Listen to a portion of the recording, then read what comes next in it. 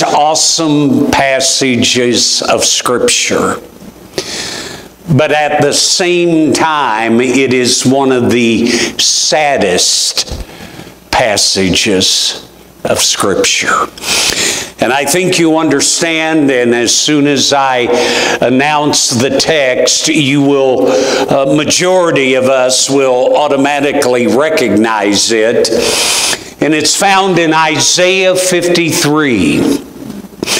Many individuals believe that the insight that Isaiah received by the Holy Spirit about the coming Messiah, and he wrote so artfully about him and so specifically about his life that many individuals call this the fifth gospel of the Bible Matthew, Mark, Luke, and John, and Isaiah.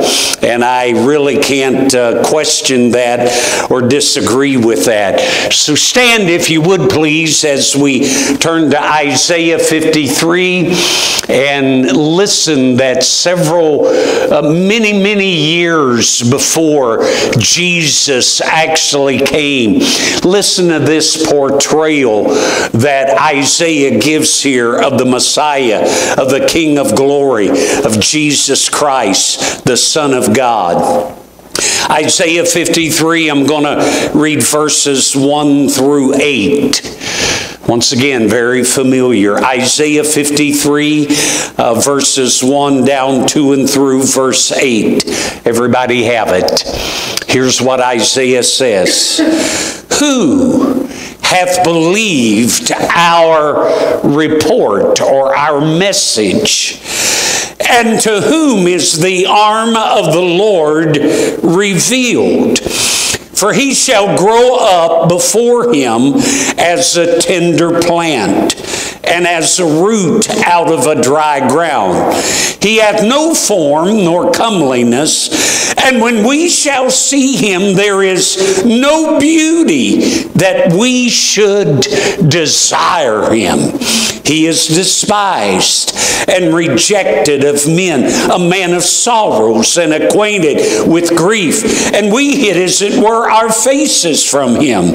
He was despised, and we esteemed him not. Surely he hath borne our griefs and carried our sorrows, yet we did esteem him stricken, smitten of God, and afflicted.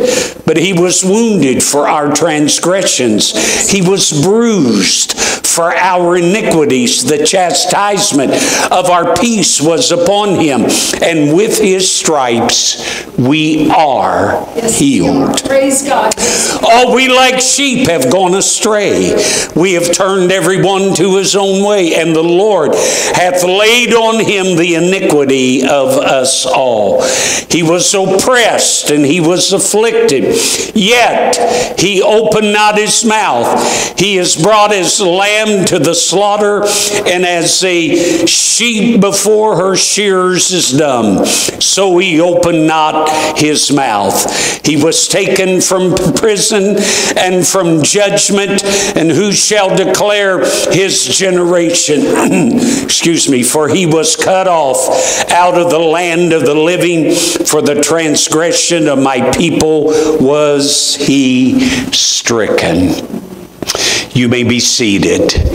We could have read the entirety of the chapter, but I will uh, leave it there and I want to preach this morning simply on this your estimation of Christ, or our estimation of Christ. What is our estimation of the Lord? Sad to say, we live in a day, we live in a society, we live in a culture when Jesus has become nothing more than a curse word, if even to that degree of honor. And as we look at this passage of Scripture of Isaiah here, really the nuts and the bolts of this passage is found a couple of times where Isaiah says, And we esteemed him. We esteemed him not. Now, what Isaiah is making reference to here, he's talking about the response of humanity when Jesus came to this earth and he came to die for our sins. When Jesus came and was born of a virgin and lived his sinless life, uh, died a cruel death on the cross, was resurrected the third day that even after all of that, what was the response of humanity to Christ in that? Why, Isaiah said, They, we, all of humanity esteemed him not. We did not esteem him as Christ. We did not esteem him as the Messiah. We did not esteem him with honor and glory and reverence and acceptation, but rather we esteemed him by rejecting him and turning our back upon him and esteeming him as nothing within our lives. This word esteemed, it's very closely associated with a word that the Apostle Paul utilized a few times within the letters that he wrote. And I'm thinking more specifically in the book of um, Philippians in chapter 3 and 7 and 8.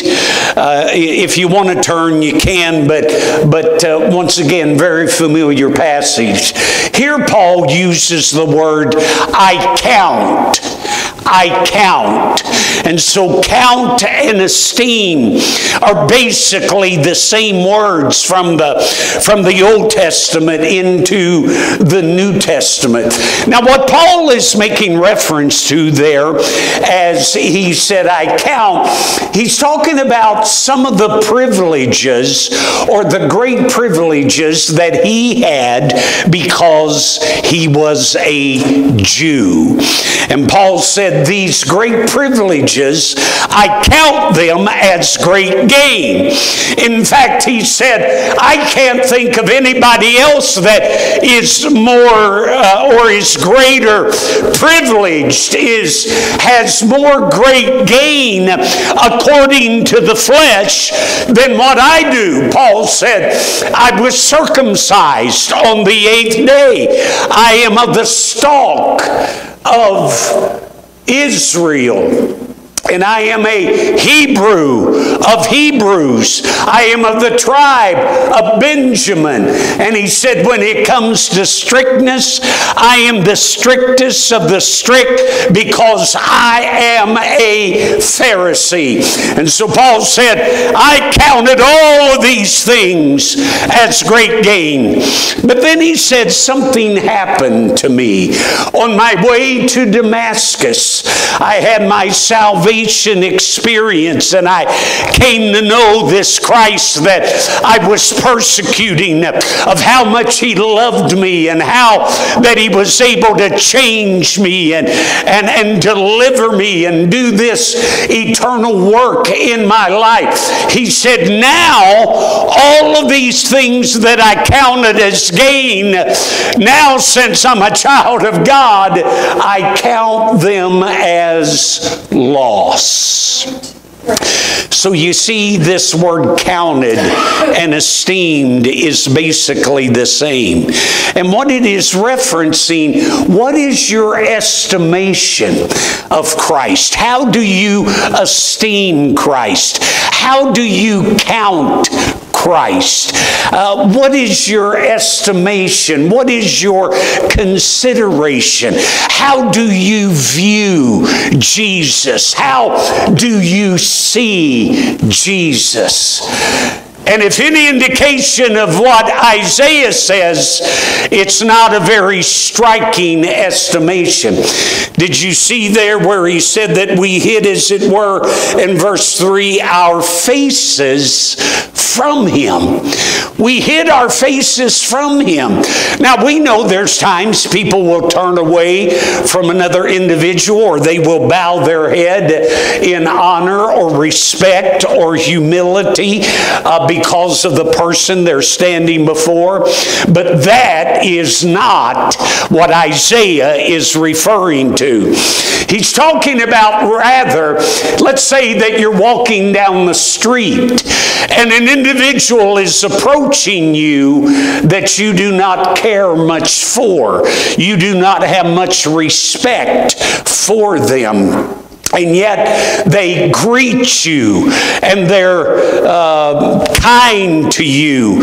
And what do you do? You don't even recognize them. You turn away from them. You turn your face from them. You do not recognize them. And the reason that you do not is because uh, you uh, hate them, you despise them, you reject them. And so that's what Isaiah says that all humanity did to the Lord, that instead of bowing before Him and bowing your head as the King of glory, uh, we rejected Him and we reviled Him and we mocked Him and ridiculed Him as nothing instead of, of this wonderful Savior and Messiah that He is.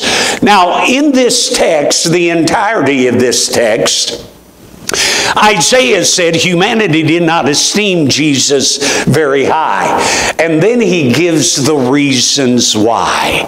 Why they did not, why we did not initially esteem Jesus very high. In other words, Jesus didn't fit into their mold of idea of how a Messiah should look like, or how a Messiah would talk, or how uh, a Messiah would act, or even the experiences that this Messiah had. Why? Why he claims to be the Messiah. But because of all of these things, it's evident that he's an impostor. It's evident that he is not who he claims to be. And so, what I want to do here this morning, I want to go through this passage of Isaiah and look at why individuals and we, and even still people today, do not esteem Jesus, do not accept him, do not honor him. Uh, but he's, as I said previously, merely a curse word if even that. I want you to notice, if you will, in verse 5 and in verse 10. We didn't read verse 10, but if your Bibles are open, when you look at these two verses, there are two contrasting conjunctions that are very evident and strategically placed. After he goes from verses 1 to 4, he said in verse 5, but. He's contrasting what has been said. And in verse 10, if you look in your Bibles, he said, Yet it pleased the Lord. So, but and yet are contrasting conjunctions. And what he's contrasting is this the estimation that man puts on Christ versus the estimation that God has placed on him. God is saying, You reject him and you despise him. But he said, Yet, yet, yet, he is my chosen one. He is the one that before the foundation of the world that was willing to lay down his life. And you consider him as nothing less than even a man but, but, but, I have ordained him to accomplish the very purposes and will of Almighty God. So we see the contrast here, and we know that even in our lives, it's not the estimation that man has of us that counts, but it's how does God consider us? How does God look at us? How does God view us? So let's look at some of the reasons here that Isaiah said that they did not esteem Christ very high. First of all, because he was the same.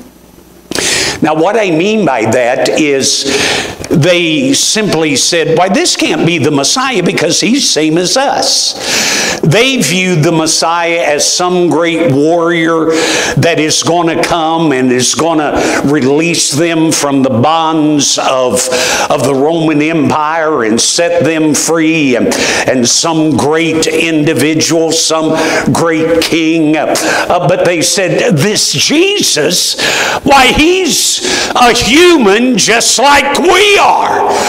And so there's no way that he can be the Messiah.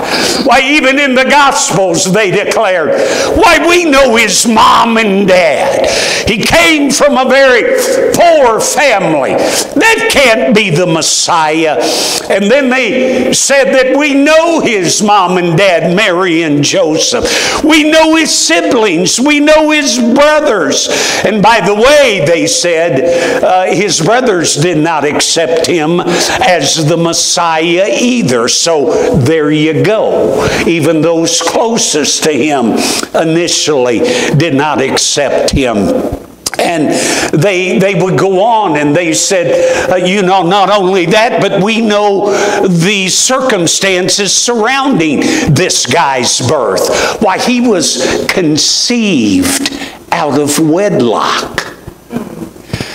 And surely the Messiah that God has promised us would never ever stoop to the place of being born out of wedlock. Now, you know, once again, I'm saying what they would say, not realizing and accepting the virgin birth.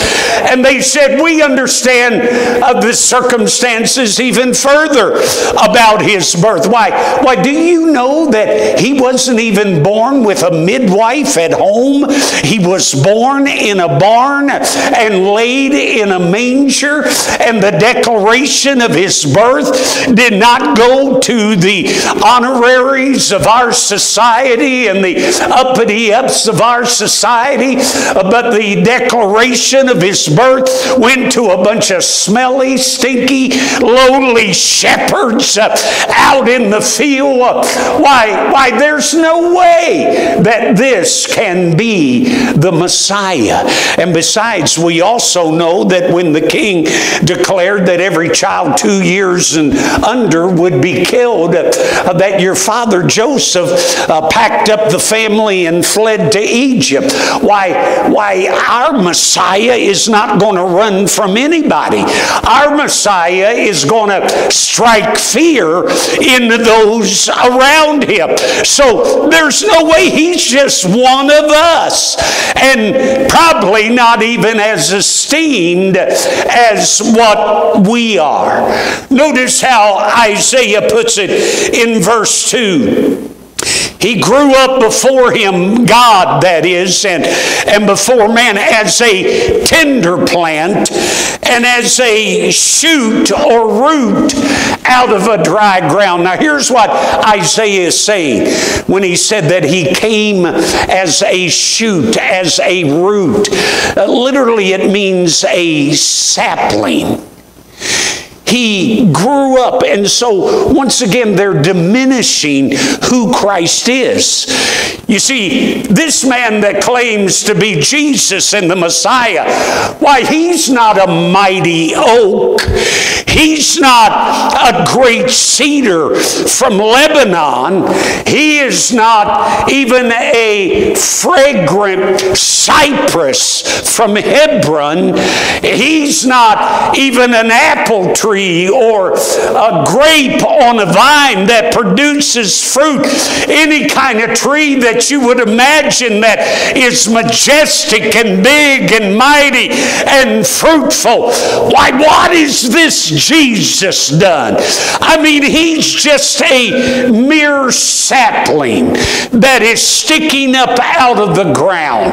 I mean, he's nothing uh, supernatural about him. There's nothing great about him. There's nothing mighty about him. And so there's no way that he can be the Messiah. And when it says a root growing out of a dry ground, it's referring to that when plants do not get the moisture that they need, their growth is stunted and they're, they're not very beautiful. They're not strong. And so that is their estimation of Jesus. He's not beautiful. He's not strong. He's not mighty. This cannot be the Messiah. This cannot be Jesus because he's the same as we are. They not only lamented the fact and estimated Christ lowly, and people still today, because people still say, say he's just a man. There's nothing supernatural. He's not God's son. He's just a man. And not only because they rejected him because he was the same, but this kind of goes along with it as well, but I want to uh, further elaborate upon it. He is simple. Now, when I say and refer to Jesus being simple, obviously I'm not talking about uh, academically or educationally or mentally. I'm not talking about that. But I'm talking about ornately that he was simple. You know, like Cynthia, she sews these wedding dresses and some of these other ball gowns for these gals, and they have all of this bling and all of this lace and how that they are made. They we consider them fancy. These are fancy dresses, but this dress over here is just plain and simple. So that's what I'm referring referring to. That they say, Jesus, this man called Jesus, why, why he's not fancy and, and he's not showy and he's not ostentatious and, and there's nothing about him that would draw your attention to him. He's just, he's, he's just a simple, plain man. And now you see, once again, they believed that their Messiah was going to be some big, strong, mighty individual, kind of like Saul was, uh, you know, when he was chosen the first king over Israel. He was chosen because, uh, why? Well, you know, he, his stature, he was head and shoulders taller than anybody else. He carried himself uh, with, with a preeminent and with grace. But this man, Jesus, I mean, there's, there's nothing about that at him at all. He is an humble, simple individual. And how in the world can this be our Messiah? Notice how it says here when uh, in, in verse. Uh, let's see. Oh, yeah, in, in verse 2, he hath no comeliness, and when we shall see him, there is no beauty that we should desire him. When it says that there was no form, that's speaking of the physical form. Why, he wasn't taller than anybody else.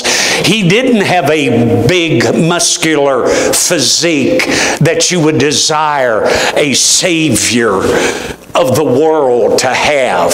Uh, but, but he was just a simple, average height of, of Jewish men of that day. There was nothing that stuck out, as I said, that drew your attention. And then when it says there was no comeliness or beauty, it's not really talking about the physical form, but it's talking about this grandiose uh, pomp and circumstances. He doesn't come across as, as being a king, he doesn't come across as being better than anybody else. He doesn't come across, uh, like I already said, he's, a, he's an humble individual. So surely this is not, why not surely? We know without a shadow of a doubt this man Jesus is not the Messiah. Why, he's a carpenter. He's not a king. He does not have a throne.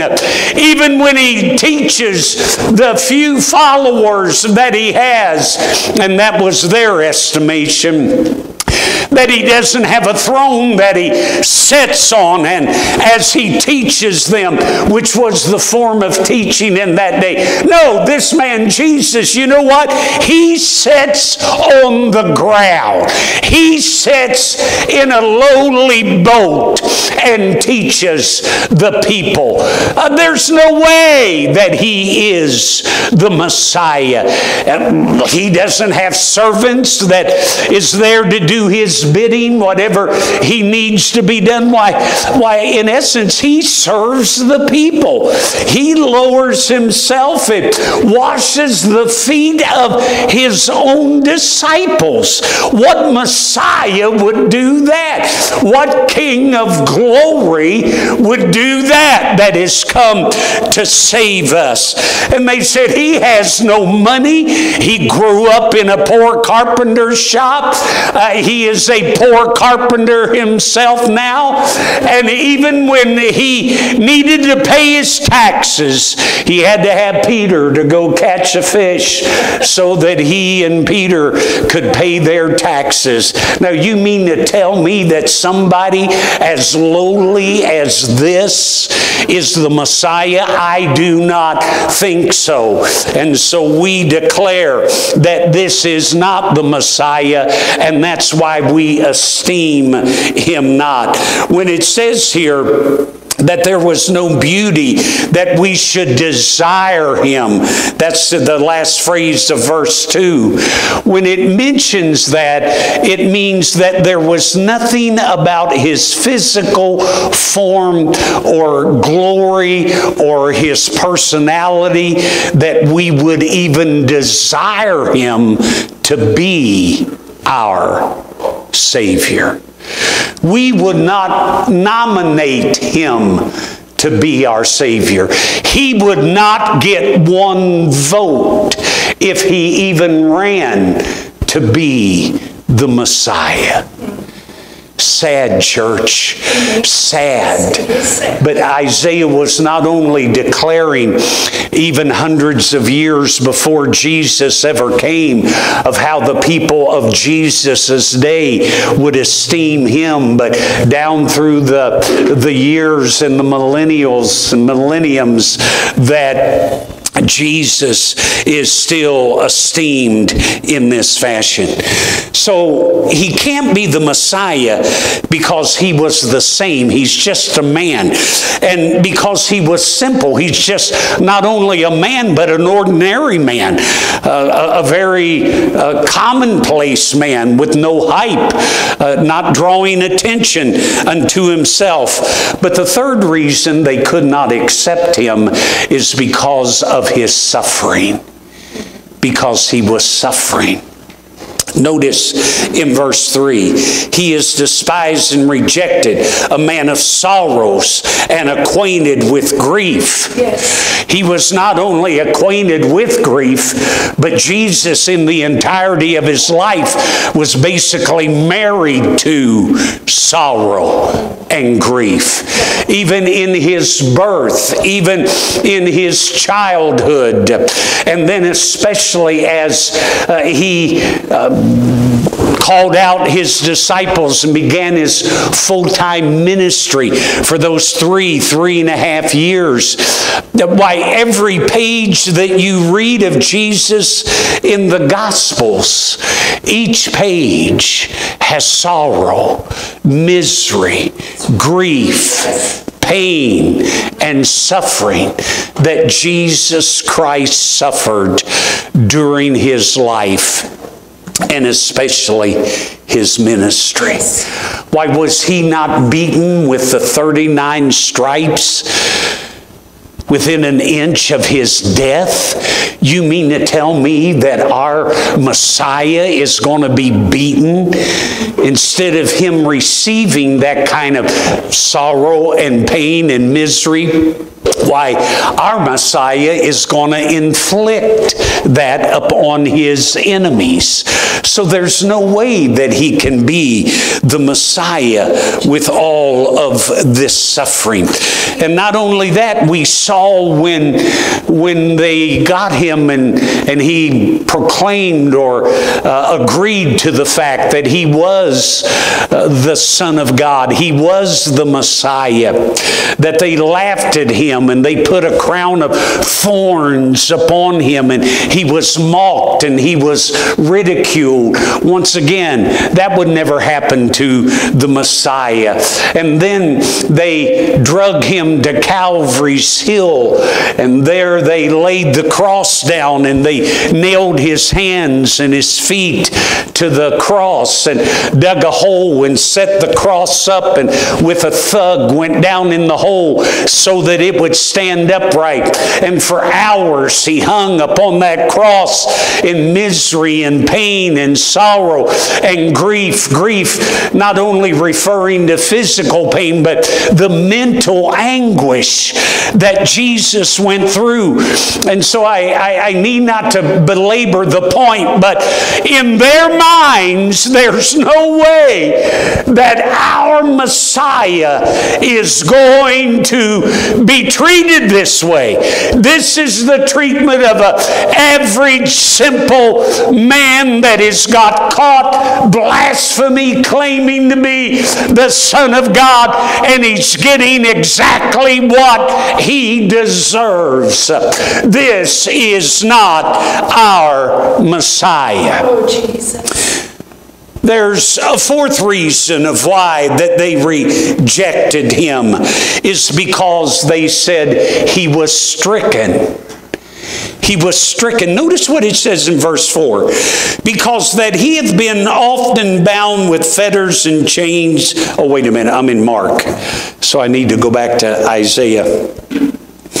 Isaiah chapter 4 Surely he hath borne our sorrows, griefs, carried our sorrows, yet we did esteem him, notice, stricken and smitten of God.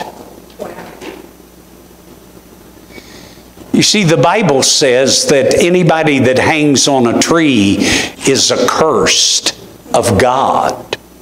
And so when Jesus was nailed to that old rugged cross, they considered him not only to be suffering from the sufferings and pain that's inflicted by man, but he's getting his just deserts because God has smitten him. God is punishing him. God has turned his back upon this man. So, why in the world, and even on the cross, he said, My God, my God, why have you forsaken me? And so, in their minds, that's the very reason why he's not the Messiah. You mean to tell us that this Messiah is going to come from God? And then uh, at the uh, midsection of his life, in the very prime of his life, God is going to smite him. God is going to reject him. God is going to punish him.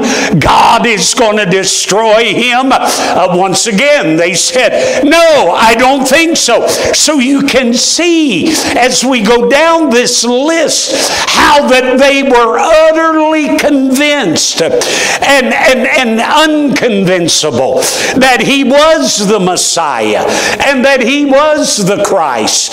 There is no way. So, not only because he's the same as us, he's a man, he's a simple man, but he's a suffering man, but he's a stricken and smitten man, even of Almighty God. But the fifth reason they rejected him is because of his silence. Notice what it says in verse 7 He was oppressed and he was afflicted, yet he opened not his mouth. He was brought as a lamb to the slaughter, and as a sheep before shears is dumb, so he opened not his mouth. So they took the silence of Jesus as a confession of his guilt. You know what they say even today and I know that I would, if I was accused innocently of a crime, I would be shouting from the rooftops of why I am innocent. This is why I could have not committed this crime. I was not there. I do not know what you're talking about. But if an individual is accused of high crimes against the Jewish nation and against against Almighty God and he does not respond to his accusers, why? That means he's guilty. And he knows that he's guilty. And he knows that there is no uh, defense that is going to be able to get him off. So, yeah, this is not our Messiah. This is not the man we're looking for. So, so just crucify, put him to death, forget about him, and we'll move on looking for and watching and waiting for our true Messiah to come and to deliver us. And the last thing that I will mention that the reason that Isaiah said that the reason they rejected him is in verse 8 and 9 because he was shafted. Yeah, he was the same. He's simple. He was suffering. He was stricken of God. He was silent. And now he was shafted. Notice in verse 8, he was taken from prison and from judgment. Now, the Bible doesn't render any case where Jesus was actually imprisoned. But what the word is making reference to is that he was brought to this kangaroo court court before judgment was placed upon him that he should die. You remember Judas came and gave him the betrayal kiss, and the soldiers and the uh, uh, police of the temple, they took him away to Caiaphas, the high priest, and the Sanhedrin, which was the ruling class over the Jews. And they stood there and they uh, finally had a couple of, of uh, people that would uh, uh, testify against Jesus and said, Yeah, we heard him say that he would destroy this temple and, and the third day, so he's an insurrectionist. Why? Yeah, this Jesus, he was there January the 6th. So we got to put him in prison. He's an insurrectionist. He's, he's trying to take over the, the government and he's uh, coming against the government and, and rejecting and disobeying and, and rebelling. And so, what they're talking about is he never even received a fair trial, but he was shafted. And so, what they are saying, the reason they did not esteem him as anything and as the Messiah, because God would have not allowed all of this to happen if this man Jesus was the Messiah. So, strike one, strike two, strike three, four, five, six. You're more than doubly out, Jesus. we cannot accept you. We esteem you as a lowly, simple, poor, humble guy that made no waves, really. Yeah, you stirred up the religious hierarchy and they had you crucified, but you proved to be a fraud. But you see, church, here's the crux of the matter. If you're looking for the Messiah to be a military Messiah, and you're looking for the Messiah to be a political Messiah, and you're looking for the Messiah to come and deliver you from the strongholds and the grips of the Roman Empire. That is what the majority of individuals believe that the Messiah was. And so if you believe him as some great military and kingly figure that's going to bring deliverance to you, everything that we have described does not fit into that imagery of that there's no way he can be the Messiah. But if you believe him to set up not a military or a political kingdom, but to set up a spiritual kingdom,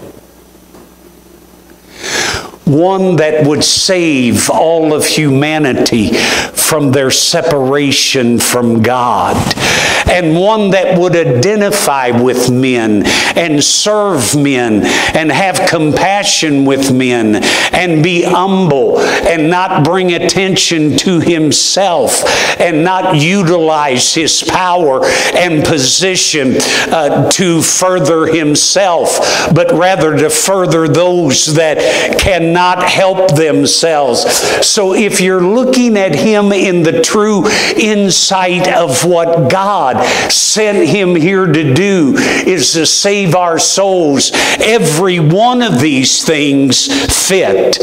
So the very reasons of why the world does not esteem Christ as very much is the very reasons of why we as Christians as esteem him as the greatest of the great, as the Lord of all other lords, as the King over all other kings. Why?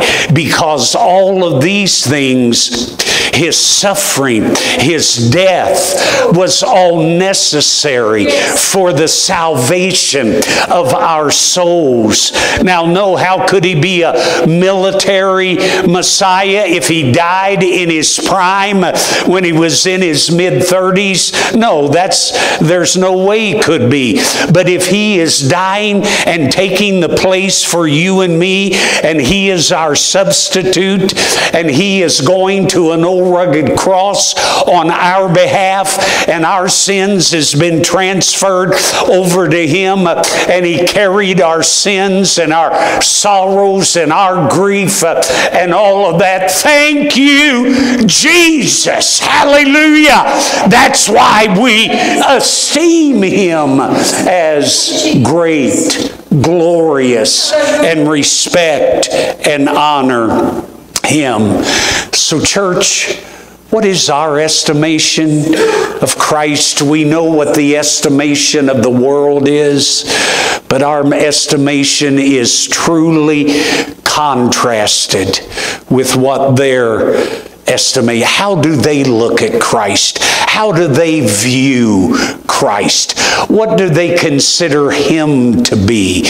What do they consider him to be like? Not much, but to us, He's everything. He's everything. He's everything. Father, I give you praise this morning. And Lord, the irony that we see all through this passage of Scripture that the very reasons why unconverted men and men of this world would reject Christ are the very reasons why he is the true Messiah, that he is Jesus, the Savior of the world. And Lord, as the angel told Mary, that you're going to deliver this child, which is the Son of the Most High. But you shall call his name Jesus, for he will save his people from their sins. And so, Lord, today we esteem you the highest.